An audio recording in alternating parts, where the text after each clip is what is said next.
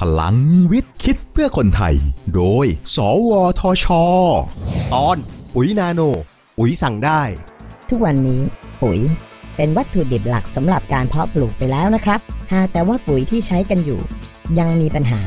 คือพืชนำธาตุอาหารไปใช้ได้ไม่เต็มประสิทธิภาพ เนื่องจากปุ๋ยละลายเร็วเกินไป ดินที่ปลูกไม่ดูดซึมธาตุอาหารทำให้ต้องใส่ปุ๋ยมากเกินความจำเป็น ส่งผลให้ต้นทุนสูง ดินเสื่อม แล้วแบบนี้จะมีเทคโนโลยีอะไรที่เข้ามาช่วยเกษตรกรได้บ้างครับ นักวิจัย สวทช ใช้นาโนเทคโนโลยี พัฒนาปุ๋ยควบคุมการปลดปล่อย